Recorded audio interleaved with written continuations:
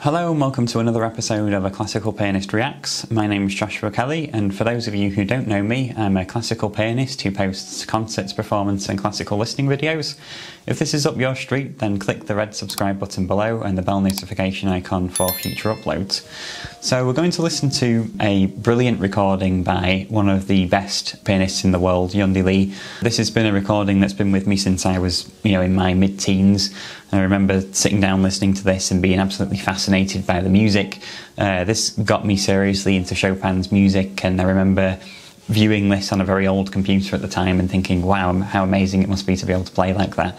And uh, being able to then go and actually learn it and perform this in concerts is something that uh, has been a very rewarding experience with me.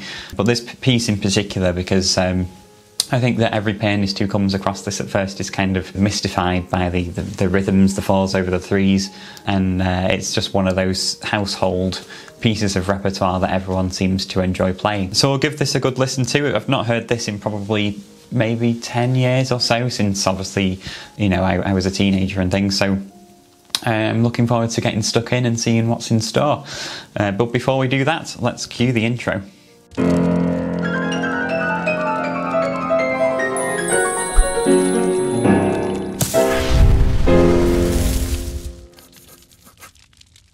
Okay, so Yundi Li, so he was brought to fame by winning the Chopin International Piano Competition. I think it was exactly the year 2000, if I'm not mistaken. I think he was 18 when he did that as well, so that's like even more impressive. And I think a few years later he went on to actually judge the same competition as well. So, you know, he's got quite the accolades, and then obviously from there he just was sprung into greatness. Um, so, um, so let's get stuck in.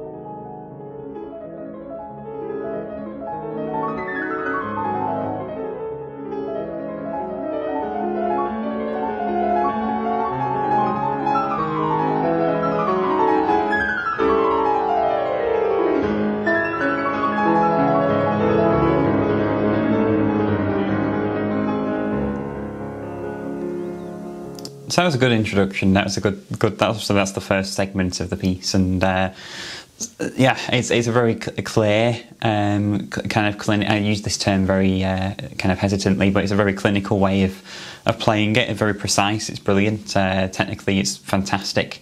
Um, and yeah, I'd still say it's still one of the best uh, versions of Fantasy Impromptu I've, I've, I've listened to. Um, but uh, I do like the style of recording as well, kind of the close up facial expressions and things. I think it's great.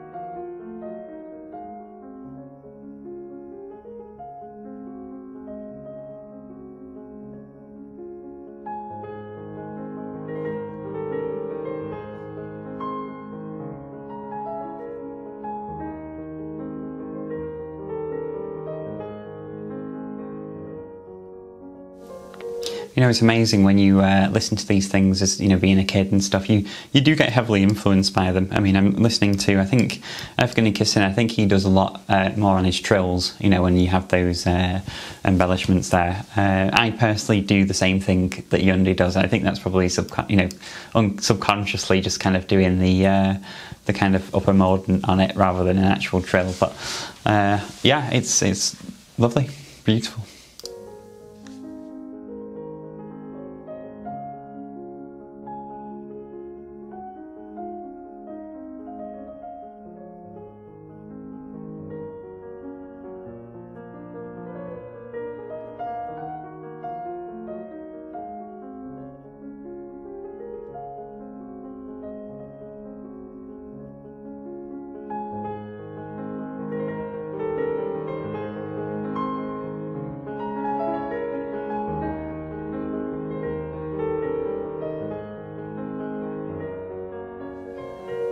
It's definitely, um, yeah, it's, de- it's definitely kind of the way probably I, I, imagine Rubinstein would play it in the sense that the time is still there. There's not much going on in terms of rubato.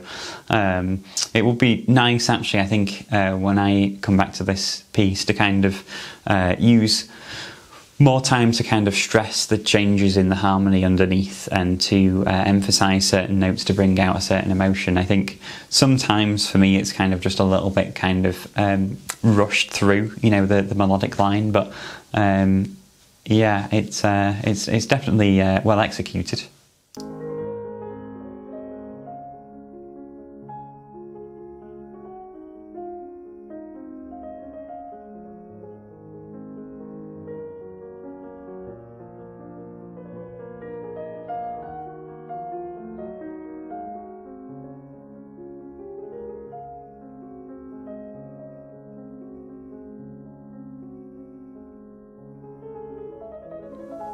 Yeah, like just on that last, little bit there, there wasn't much ritornando or things like that, and I, I, think that it could be used. I can't remember off the top of my head what the, the actual score says, but I'm pretty sure there's going to be a, a, some sort of ritornando or rallentando there um, to then bring it back into this. Um, sort of uh, agitato. I think it's agitato. I think that's what it says on the top of the score.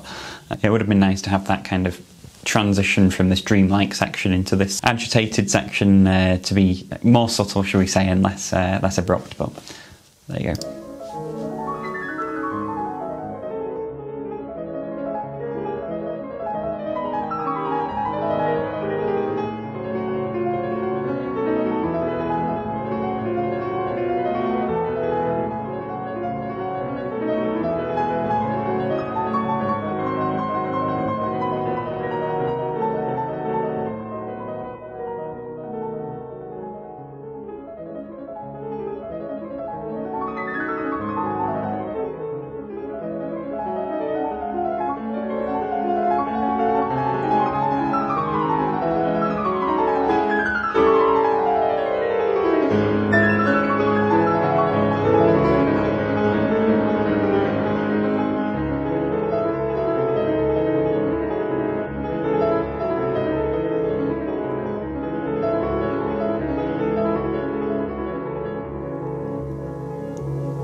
See what he does with this bottom line now.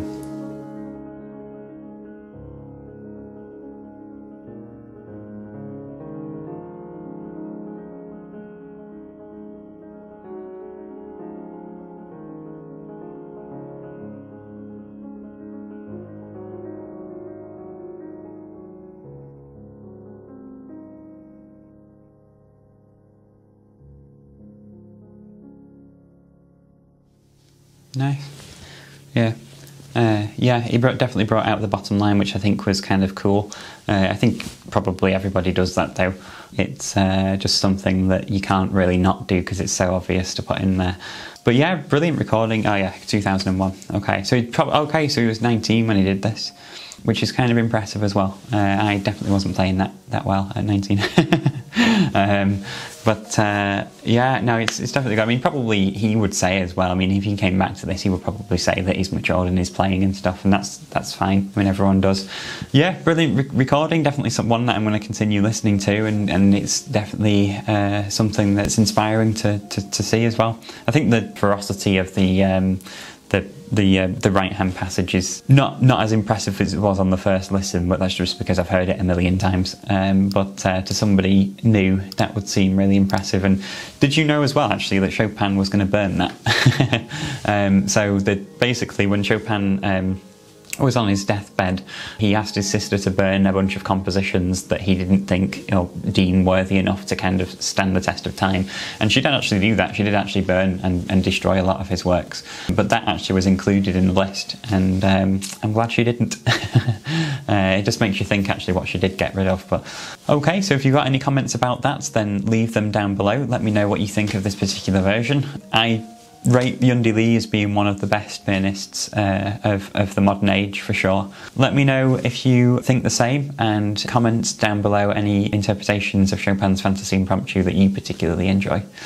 And as always, I'll see you next time.